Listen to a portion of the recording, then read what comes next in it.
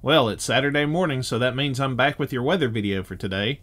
After a very chilly start this morning, we'll make a decent rebound and end up with a really nice Saturday. However, a front moves through bringing rain chances for Sunday and colder temperatures for the start of the week. Here's what I have for you in today's video.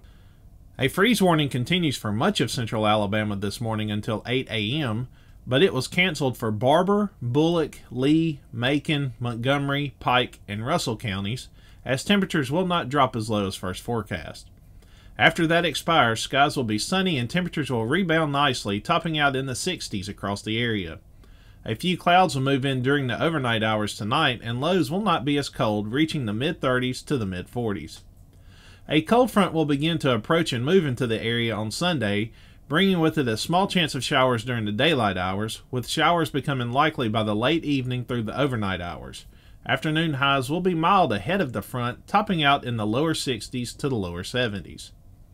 The front will complete its transition through central Alabama during the morning hours on Monday, and shower chances will come to an end.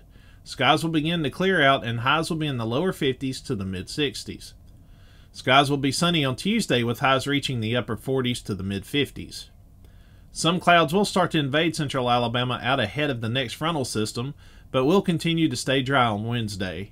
Highs will be in the mid 50s to the lower 60s. Clouds will continue to move in, making the skies partly to mostly cloudy for Thanksgiving Day. For now, models are keeping the associated shower activity out of the area until the late evening through the overnight hours, so you will definitely need an umbrella to go to those pre dawn Black Friday sales. Highs will range from the upper 50s to the lower 70s. The front loses its punch during the early part of the day on Black Friday, and showers look to dissipate right at or just around daybreak. After that, we look to stay dry with skies becoming partly sunny. Highs will be in the mid 50s to the upper 60s. The tropics are quiet at this point, and no new tropical cyclones are expected to form over the next five days. The end of the Atlantic hurricane season is just 10 days away on November 30th. That will do it for today's video. We'll have notes on the blog throughout the day. Bill Murray will have your next video out on Sunday morning. I'm Scott Martin signing off for today. Have a great day and God bless.